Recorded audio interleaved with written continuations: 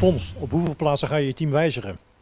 Ja, dat zien we nog wel. Want ik heb nog wel wat rekening te houden met een uh, aantal spelers. Maar het zal niet, uh, je moet niet gek opkijken als het op, op, drie, vier posities is. Een aantal wijzigingen worden doorgevoerd. Eén van die wijzigingen is dat Beugelsdijk niet gaat spelen. Nee, Tom is normaal gesproken voor mij natuurlijk een basisspeler. En, maar ook hij ja, de wetten van het voetbal zijn, zeggen nou eenmaal dat uh, als je verdediger bent, dan moet je zorgen dat jouw man niet scoort. Uh, de laatste weken vind ik dat uh, ook Tom is wat te vaak betrokken geweest bij, bij tegengoals. Daarbij um, ja, heeft hij best wel behoorlijk wat kaarten verzameld inmiddels.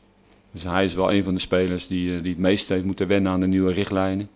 Dus ook voor hem ja, is nu het moment daar dat hij, uh, dat hij inderdaad uh, zondag niet speelt. En uh, daar moet hij dus op reageren. Want ik zeg al, ik ben ook gecharmeerd van de verdediger Tom Beugelsdijk. Sterker nog, ik hou van dat soort spelers. Hij zit ook in mijn hart. En toch speelt hij niet. En ook hij weet dat het erbij hoort en dat hij terug moet vechten. Want er is wel een situatie bij ADO nu Um, als ik de ontwikkeling zie van Pinas bijvoorbeeld. Maar als ik ook zie hoe Nick Kuipers traint. Wat een echte prof is die iedere dag 100% geeft. Dan moet je ook uh, wel eens uh, om je heen kijken. In fases dat het minder loopt. En daarom uh, die keuze.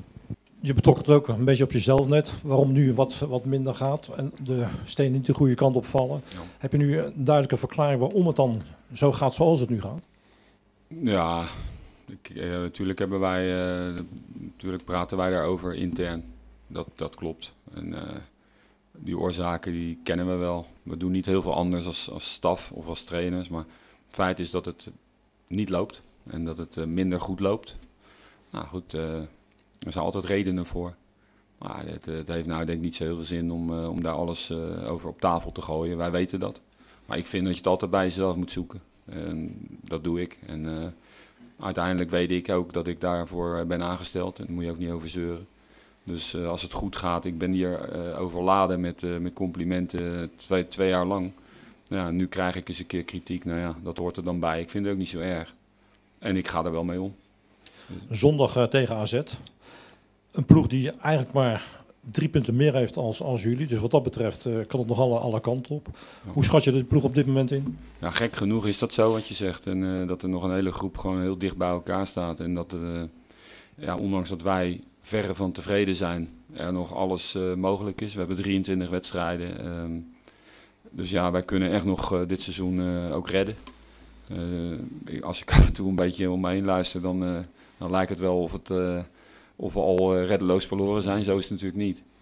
Um, we moeten wel de, de, de, het realisme een klein beetje, vind ik, blijven uh, zien in, uh, in Den Haag.